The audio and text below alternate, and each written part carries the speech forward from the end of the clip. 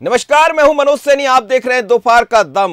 मध्य प्रदेश विधानसभा के बजट सत्र का दूसरा दिन है। पहले दिन राज्यपाल के अभिभाषण से सत्र की शुरुआत हुई। पूर्व सीएम कमलनाथ ने राज्यपाल के अभिभाषण को झूठ का पुरिंदा बताया था, जिसको लेकर अब सियासत गरमा गई है। सीएम शिवराज ने कमलनाथ पर हमला बोलते हुए कहा है, कांग्रेस झूठ बोलने, झूठ परोसने की दुकान है। कमलनाथ ने राज्यपाल के अभिभाषण पर अशोभनीय टिप्पणी की है। राज्यपाल संवैधानिक पद पर है। राज्यपाल पर झूठ बोलने का आरोप लगाया सीएम ने कहा पद की मर्यादा तो रखिए, लोकतंत्र की गरिमा गिराने वाली बात है ये, ऐसा शिवराज ने कहा। लेकिन शिवराज से पहले कमलनाथ ने भी कहा था। कमलनाथ ने यह कहा था कि शिवराज सरकार झूठ का पुलिंदा है, बल्कि राज्यपाल से भी शिवराज जी ने वही करवा दिया। इस तरह के आरोप उन्होंने लगाए थे। अब क्या कहना है शिवराज जी का? लेकिन साथ में वो बयान भी आपको सुनवाएँगे, जिसको लेकर सियासत कर सुनिए। कांग्रेस झूठ बोलने की दुकान है, झूठ परोसने की दुकान है। अब वो मेरे बारे में कुछ कहते रहें। मैंने आपत्ति नहीं की। लेकिन कल कमलनाथ जी ने राज्यपाल जी के अभिभाषण पर अशोभनीय टिप्पणी की है और उन्होंने झूठ बोलने का आरोप लगाया है। राज्यपाल संवैधानिक पद है। कम से कम संवैधानिक पद पर बैठे सम्मानी राज्यपाल जी के बारे में ये कहना है कि उनसे झूठ बुलवाया।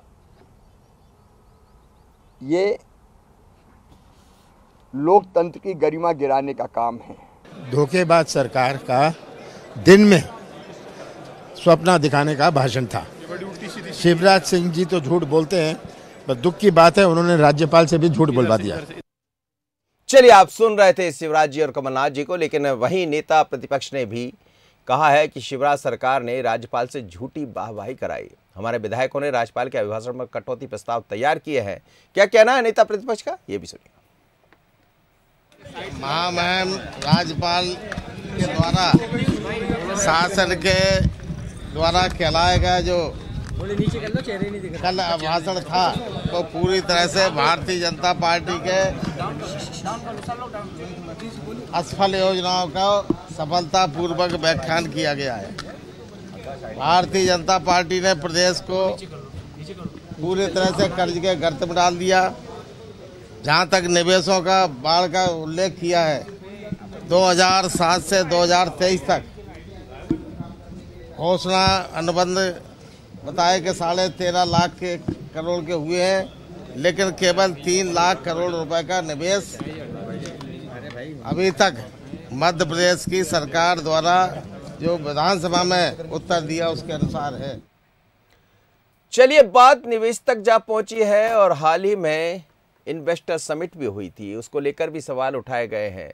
सरकार लगातार कर्ज ले रही इसको लेकर भी विपक्ष ने सवाल खड़े किए ऐसे कई मुद्दे हैं, लेकिन ऐसा लगता है कि इस बार की विधानसभा में ये सब मुद्दे और गर्माते नज़र आएँगे। इस वक्त अभिभाषण पर चर्चा चल रही है। मेरे साथ दो मेहमान जुड़ रहे हैं। रजनीश अग्रवाल जी है, भारतीय जनता पार्टी के प्रदेश मंत्री, और रजनीश जी, आपका बहुत स्वागत है। अजय सिंह यादव जी, उपाध्यक्ष मीडिया विभाग के दोनों मेहमानों को बहुत स्वागत। रजनीश जी बार बार कमलनाथ जी के निशाने पर शिवराज जी आते हैं। हालाँकि विपक्ष का एक काम है पर बात कर्जों की वो कर रहे हैं कि लगातार कर्ज ले रहे हैं और अब ये भी कह रहे हैं कि हम हिसाब प्रस्ताव लेकर आएँगे। देखिए, पहली बात यह है कि कमलनाथ जी, अगर 2019 के बजट सत्र के दौरान कांग्रेस सरकार के रहते हुए खुद के मुख्यमंत्री काल के लिखित जवाब पढ़ लेते तो मुझे लगता है कि उनको साबित हो जाता कि वो स्वयं झूठ बोल रहे हैं। और झूठ ही नहीं बोल रहे हैं, जनता को गुमराह कर रहे हैं। मध्य प्रदेश को बदनाम कर रहे हैं। या तो कांग्रेस की सरकार जब थी, मुख्यमंत्री कमलनाथ जी थे तो ये नींद और नशे में थे, इसलिए इन्होंने इस प्रकार के जवाब दिए। वरना ये विधानसभा की प्रॉपर्टी है। विधानसभा में लिखित उत्तर में इन्होंने न केवल मध्य प्रदेश की इन्वेस्टर्स मीट की तारीफ़ की है, आए हुए इन्वेस्टमेंट का उल्लेख किया है, मिले हुए रोज़गार की संख्या बताई है। मध्य प्रदेश के जो तमाम प्रकार के सवाल, इनके ही विधायकों के सवाल के उत्तर में, इनके ही सरकार के मंत्री ने जवाब दिए हैं। तो ये खुल्लम खुल्ला सबके सामने है। तो ये केवल और केवल गुमराह करने की राजनीति करते हैं। झूठ तो सत्तर साल से कांग्रेस बोलती आई है। जिन्होंने 40 के लगभग 38 से 40 के बीच में इसी मध्य प्रदेश में बजट पारित किए हों और जिनका जमाने में बिजली, सड़क, पानी सबसे बड़ा मुद्दा बन के जनता के सामने बंटाधारी शासनकाल में आया हो तो उनके बारे में क्या कहिए? वो जनता जानती है और इसीलिए ये ना केवल संवैधानिक पदों पर बैठे हुए लोगों का मखौल उड़ाते हैं। महामहिम राष्ट्रपति के बारे में इनके लोकसभा के नेता हो या तमाम प्रकार के पदाधिकारी हो प्रवक्ता हो लगातार महामहिम राष्ट्रपति का मामला हो या महामहिम राज्यपाल का मामला हो जनजाति समुदाय की ये दोनों जब से बने हैं तब सर इन्होंने छीटा कशी से लेकर उनके तमाम प्रकार के उन के खिलाफ में अपमानजनक डॉक्टर गोविंद सिंह कह रहे डॉक्टर गोविंद सिंह कह रहे हैं कि साढ़े तीन लाख का कुल विधानसभा में जवाब दिया गया हाल ही की बात कर रहे हो साढ़े तेरह लाख आप दिखा रहे हैं। मैंने कहा आपसे और एक बात दूसरी बात महामहिम राष्ट्रपति के अभिभाषण पर और महामहिम राज्यपाल के अभिभाषण पर सदनों में चर्चाएँ होती हैं। प्रावधान है संवैधानिक प्रावधान है और तब से लेकर अब तक लगातार चर्चाएँ हुई चाहे सरकार में हम रहे या विपक्ष में। हम्म, हम्म। और जिसको जो बोलना होता है उसमें बोलते हैं। हम्म। उसमें बोलते हैं लेकिन राज्यपाल की अवहेलना अपमानजनक टिप्पणियाँ नहीं किया करते।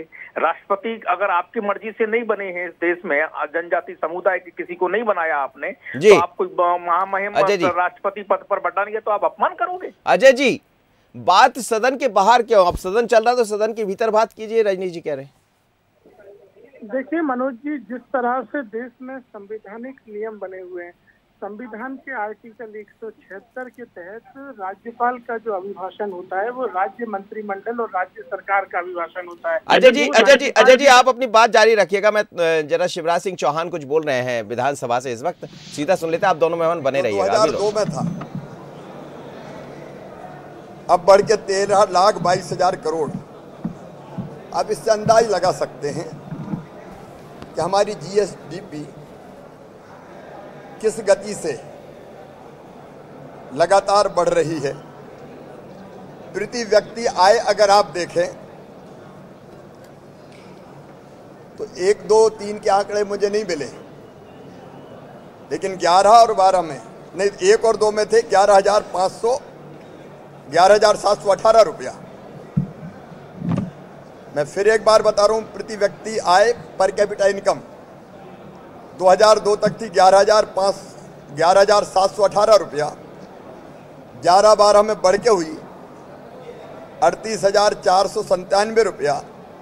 और बाईस तेईस में बढ़ के ये हो गई है, एक लाख चालीस हज़ार पाँच सौ रुपया। ये पर कैपिटा इनकम जो बढ़ रही है, वो ये सिद्ध करती है कि लोगों के पास लगातार आय के साधन बढ़ रहे हैं। ऋण और जीएसडीपी का जो अनुपात है, हम पे अक्सर ये आरोप लगाया जाता है कि हम कर्ज ले रहे हैं। लेकिन आप आंकड़े अगर देखेंगे 2005 में ऋण जीएसडीपी अनुपात मतलब जीएसडीपी के अनुपात में जो कर्जा लेते थे, वो था उनचालीस दशमलव पाँच प्रतिशत, thirty nine point five percent. लेकिन कोविड महामारी की कठिनाइयों के बावजूद ये 20 और 21 में घटकर हो गया है, बाईस दशमलव छः प्रतिशत, twenty two point six percent. ये अपने आप में सिद्ध करता है कि जीएसडीपी के अनुपात में ऋण का प्रतिशत लगातार घटा है। कैपिटल एक्सपेंडिचर पूंजीगत व्यय।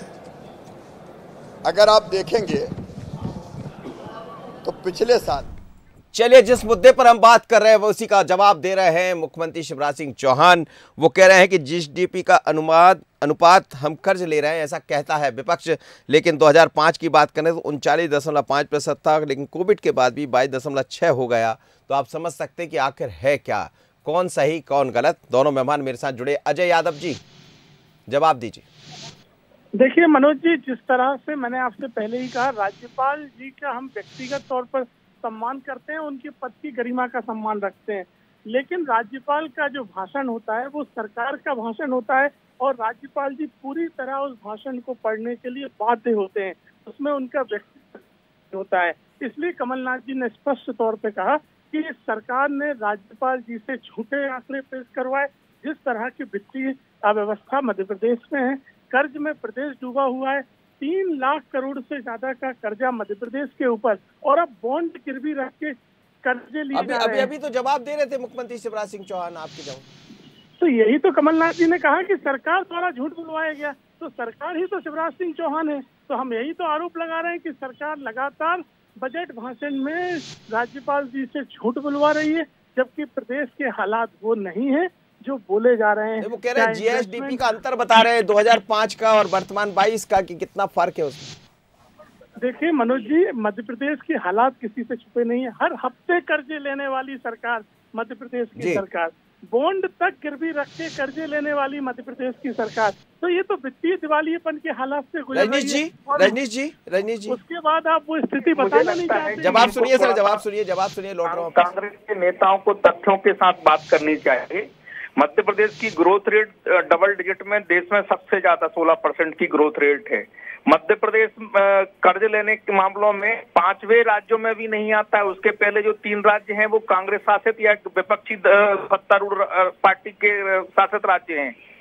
और कर्ज ने रिज़र्व बैंक की सीमा में और केंद्र की गाइडलाइन के अनुरूप लिया है। एक गाइडलाइन तोड़ी और मैं चुनौती देता हूँ पूरी कांग्रेस को। एक गाइडलाइन केंद्रीय रिज़र्व बैंक की या केंद्र सरकार की गाइडलाइन की तोड़ जिसमें कांग्रेस की सरकारें राज्य सरकारें भी विपक्ष की सरकारें भी कर्ज लेती हो बताइए।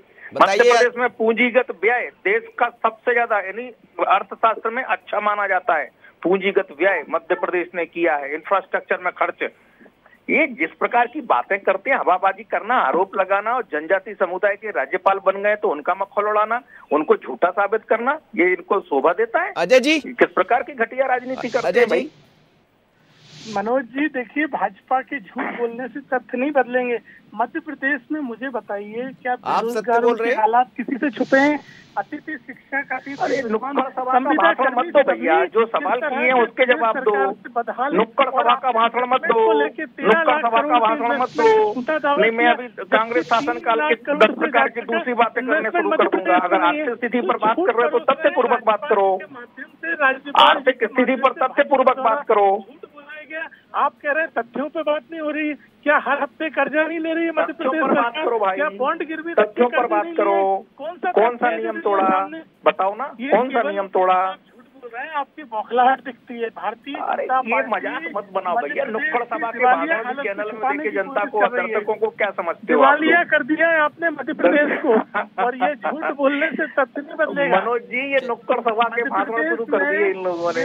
अब आप तथ्यों चलिए बात करते हो एक तथ्य नहीं दे पा रहे चौपट हो गई है।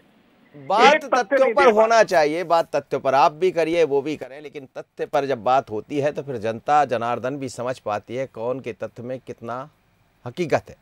लेकिन 2023 सामने है तो इस बार का जो बजट सत्र है, वो भी इसी तरफ़ बढ़ता हुआ दिखाई दे रहा है। चर्चाएँ खूब होंगी। बहुत धन्यवाद रजनीश अग्रवाल जी आपका, अजय यादव जी आपका भी। लेकिन मध्य प्रदेश में बजट सत्र का आज दूसरा दिन है। एक तारीख को बजट प्रस्तुत होगा, लेकिन उससे पहले अभिभाषण पर चर्चा चल रही है। पर चर्चा के दौरान कौन सच्चा, कौन झूठा है इस पर सियासत गरमाई हुई है। अब ये तो जनता समझती है और जनता ही जवाब देगी, क्योंकि आने वाले कुछ महीनों बाद चुनाव भी होंगे। दोपहर के दम में इतना ही आगे बात होगी छत्तीसगढ़ की, लेकिन यहाँ एक छोटा सा ब्रेक अभी लौटते।